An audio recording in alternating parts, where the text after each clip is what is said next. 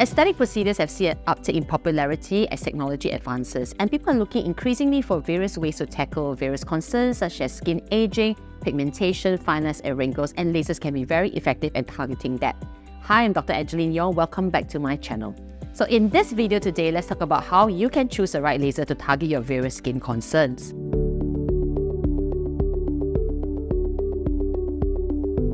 So lasers work by firing a very narrow beam of light of a specific wavelength to target a particular chromophore in the skin. And that chromophore can be a molecule such as water or even hemoglobin. And basically, the laser with a particular wavelength is selectively absorbed by this chromophore, which then converts it to heat energy and then proceeds to actually degrade the particular particle. This can be in the form of a tattoo particle or tattoo molecule, for example, or in the form of unwanted blood vessels and capillaries, or unwanted pigmentation both in the epidermal layer and the dermal layer. So lasers are very specific, unlike things such as the IPL, which is intense pulse light, or broadband light, lasers usually emit a particular fixed wavelength.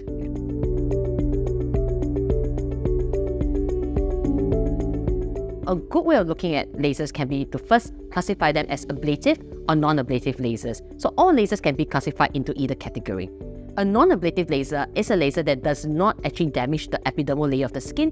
The epidermal layer is intact and the laser wavelength bypasses the top layer of the skin to target deeper layers or deeper tissue. So this usually gives rise to easier recovery time, so there's not much barrier compromise.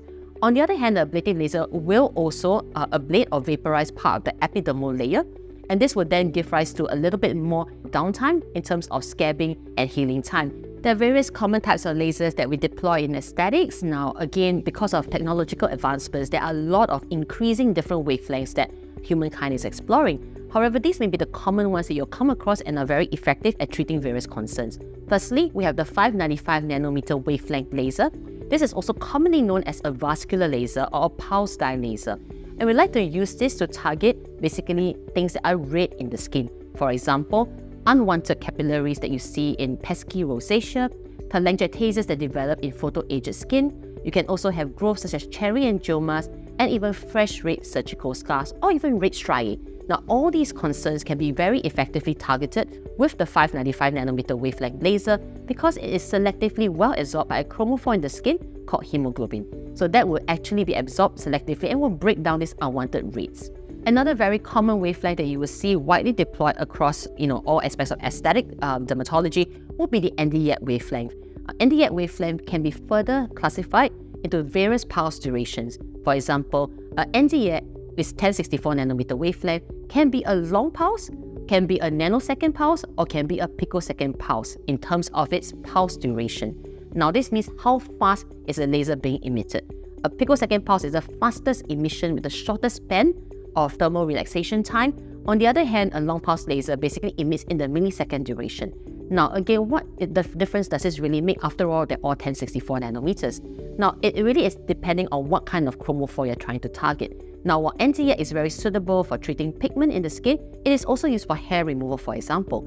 On the other hand, we also have your Q-switch nanosecond Nd:YAG lasers and your picosecond Nd:YAG lasers. And I like to use um, basically the picosecond Nd:YAG laser to treat unwanted pigmentation. And this can be epidermal pigment as well as dermal pigment. Now 1064 nanometers is very good at targeting deeper dermal pigmentation. I have my other preference for epidermal pigment in Asian skin, which I'll go to in the next subcategory. We have another wavelength of laser known as the alexandrite laser, which I'm going to come to now. The alexandrite laser is emitting at a wavelength of 755 nanometers. Now, this wavelength is very good at treating pigmentation once again, also used to treat tattoo pigment, particularly able to treat green particles.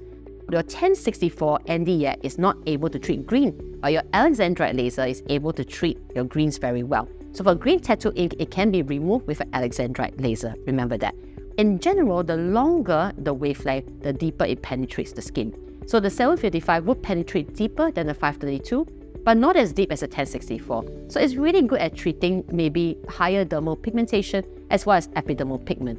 Now, because the 532 nanometer wavelength is a little bit more uh, risky in Asian skin types when treating epidermal pigments such as freckles and sunspots, I like to use a 755 nanometer wavelength. There's less risk of PIH or post-inflammatory hyperpigmentation when treating Asian skin types. And then we talk about other lasers such as the carbon dioxide laser. Now, carbon dioxide laser has a 10,600 nanometer infrared wavelength. Now, this is usually an ablative laser, either fractionated or non-fractionated, which we will go through in detail later on. Now, basically, a carbon dioxide laser is used as an ablative laser for various indications. For example, if you have unwanted growth on the skin, like unwanted skin tag, a sebaceous gland hyperplasia, a syringoma, these are lesions that grow out of the skin and they can be successfully removed or erased with a carbon dioxide laser. You can also use a fractionated carbon dioxide laser very effectively to actually remove fine lines, wrinkles, and resurface acne scarring. So again, a carbon dioxide laser you can see is also used as a surgical tool. So sometimes surgeons can also use it in the ablative form to make certain incisions or cuts. So it's very, very clean compared to a surgical incision.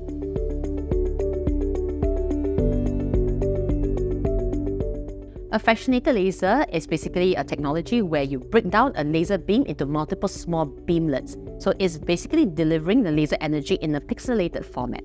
So why a fractionated laser over a non-fractionated laser?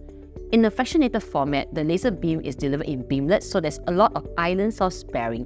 So in an ablative laser like a CO2 laser, this is very essential because it basically gives you faster recovery time as not all of the epidermis is damaged. So what you have is islands that are intact and basically your epidermal regrowth can start from this island. So less downtime, less risk of post-inflammatory hyperpigmentation, easier recovery. So decades ago, before the advent of fractionated lasers, when people utilized ablative lasers, they were full ablative. So there was always a lot of weeping, ooziness, and feared downtime, and more complications, especially in darker skin phototypes, because basically the risk of hyperpigmentation is greater when you don't leave islands of sparing. Now, if we switch to the non-ablative laser format, for example, commonly used laser like a picosecond laser or various wavelengths, for example, can be also again fractional or non-fractional. So when I do a treatment with a picosecond laser, I can first deliver the picosecond beam in a standard beamlet and then switch the handpiece to a fractionated handpiece to do further resurfacing. So the resurfacing in a non-ablative laser will not damage the epidermal layer, but will go bypass the top layer into the dermal layer. But basically, there will be islands of remodeling, and basically what we call laser-induced optical breakdown. So again, both broad categories of laser can be even further classified in the same laser as whether you're delivering it in a fractionated form or a non-fractionated form.